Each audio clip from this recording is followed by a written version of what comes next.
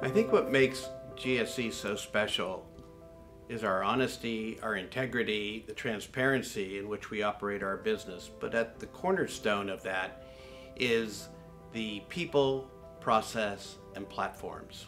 MacMillan Piper has a total of uh, 54 years of experience. Um, they started out in 1969 as a family owned and operated company.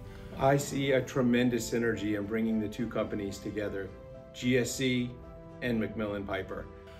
We're both very well thought of in the industry, have great reputations. Uh, GSC certainly has strengths that we don't and vice versa. Family businesses, stellar reputations and histories, known as top service providers in their respective spaces. Marrying those together and providing that full service solution to our customers really excites me, really does. It's going to open up a whole new world of opportunity for our employees.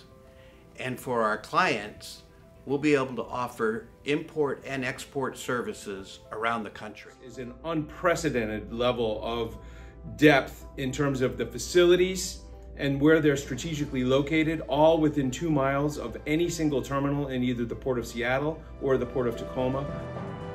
This acquisition really transforms GSC from a strong regional player to a national player in different markets around the country, offering many different services to our fantastic client base. And really, we felt that this was a perfect match for the two companies to come together. We look forward to growing this organization in the years to come. So thank you.